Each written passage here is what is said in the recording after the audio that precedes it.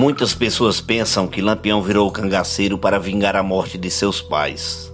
Ou melhor dizendo, para vingar a morte do pai que foi morto pela volante do tenente José Lucena. Mas o que poucos sabem é que nesse tempo Virgulino Ferreira da Silva, o Lampião, já estava engajado com mais dois irmãos seus, Antônio Ferreira e Livino Ferreira, num grupo de cangaceiros comandado pelo chefe de cangaço, Senhor Pereira. É claro e evidente que a morte do seu pai o deixou com muita raiva e sede de vingança. E quando o senhor Pereira resolve em 1922 deixar o cangaço, passando para Lampião a chefia do bando, este aceita com muito prazer, pois além de fazer justiça à família perseguida pelos Nogueiras e Saturninos, iria agora atrás de vingar a morte do seu progenitor. O verdadeiro motivo que levou Lampião a virar cangaceiro foi devido à rixa que sua família tivera com os Nogueiras e Saturninos no Pernambuco, mais precisamente no sítio Passagem das Pedras, município de Vila Bela, hoje Serra Talhada. Devido a uma briga que começou por conta de umas criações de José Ferreira que invadiu o cercado do vizinho José Saturnino, e este pendurou um chocalho seu nessas criações, se apoderando das mesmas, Lampião ainda virgulino, além de pegar de volta as criações, ainda amassou os chocalhos do vizinho. Essa confusão foi se alastrando cada vez mais, que terminou em prisão de um dos seus irmãos, até mesmo em um atentado à bala, onde Livino foi ferido. O caso chegou na justiça, que infelizmente, pelo fato de o fazendeiro ser de família bem conceituada, teve a razão ficando ao seu lado. Os Ferreiras foram obrigados a abandonarem suas terras e partirem em retirada para as terras alagoanas. José Saturnino, que também era da família Nogueira, aciona todos os poderosos da mesma para continuarem infernizando a vida da pobre família Ferreira. Os filhos, incluindo Lampião, que era um dos mais novos, fizeram amizade com a família dos Ingrácias, que tinha muitos dos membros já integrantes do cangaço. Não deu outra. Os irmãos Ferreiras resolveram também aderir ao movimento cangaceiro. Na tarde do dia 4 de junho de 1922, na Fazenda Feijão, Senhor Pereira chamou Virgulino para uma conversa reservada e falou: Vou deixar o cangaço. Você vai ser meu substituto no comando do grupo. Mas quero que isso por enquanto fique em segredo, até decidir certas coisas com sua família. O novo juiz de direito de Vila Bela era o Dr. Augusto César Cruz Oliveira. Era um homem estranho, inclusive já tinha sido cangaceiro. Em 1922, no governo de Sérgio Loreto, o ex-cangaceiro voltava a Vila Bela agora como juiz de direito. Na condição de amigo da família Pereira, Augusto Santa Cruz teve uma conversa com Né da Carnaúba, fazendo ver que devia aconselhar senhor Pereira a largar o cangaço. E é aí que entra a ação figurada do padre Cícero.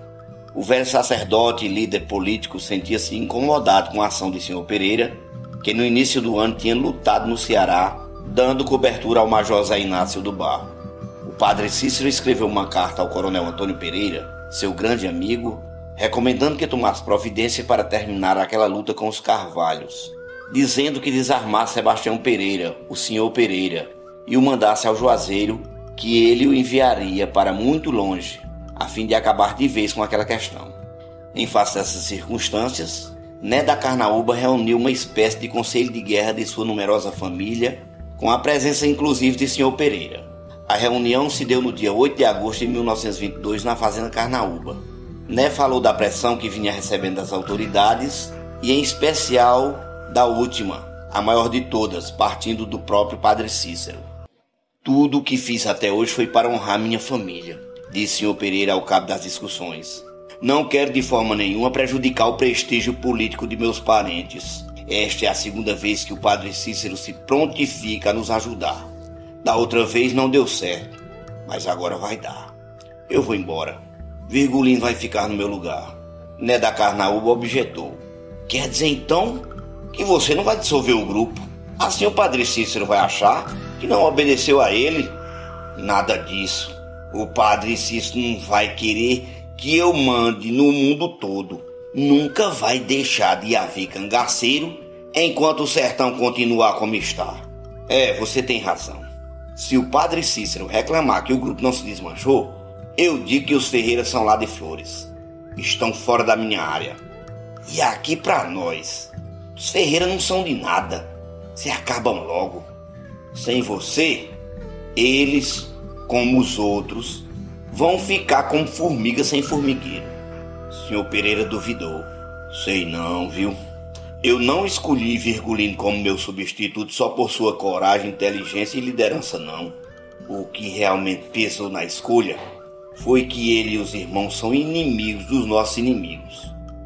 Eu vou embora, mas os piranhas não vão ter motivo para ficar rindo de mim, pois vão continuar sem ter sossego e se pensarem vir para cima da minha família, vão ter que os enfrentar.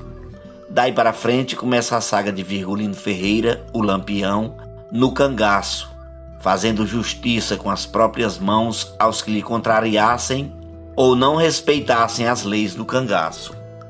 Muitos inocentes foram mortos para que Lampião cumprisse seu destino de justiceiro do sertão. José Saturnino não foi morto por Lampião. Morreu de velho aos 86 anos em Serra Talhada e nunca sofreu a vingança de Lampião. Tenente José Lucena não foi morto por Lampião. Morreu no Recife em 1955 de um colapso fulminante e nunca foi vingado por Lampião. Lampião foi morto em 1938 na Grota do Angico, pertencente à Fazenda Angicos, no município de Porto da Folha, no estado de Sergipe. Hoje ele é conhecido como o maior de todos os cangaceiros que passaram pela história do cangaço. Hoje muitos se perguntam porque Lampião, que era almocreve e exímio artesão, resolveu aderir à vida de crimes do cangaço. Ele poderia ter se saído um grande comerciante na cidade de Serra Talhada, pois tinha muita experiência com o comércio desde muito jovem, quando guiava uma caravana de burros, levando e trazendo mercadorias pelo sertão nordestino. Ele poderia ter se tornado um grande artesão no Pernambuco, como expedito celeiro no Ceará, já que tinha muita facilidade para costurar em tecido e principalmente em couro, confeccionando as vestimentas e apetrechos dos vaqueiros do sertão nordestino. Muito tinha nele o desejo de vingança pela morte de seu pai. Muito tinha nele o desejo de justiça pela perseguição sofrida pela sua família. Mas foi justamente esse desejo de justiça que o levou a abandonar tudo e seguir sua vida até a morte dentro do cangaço. Por isso era chamado, além de cangaceiro bandoleiro, de cangaceiro justiceiro.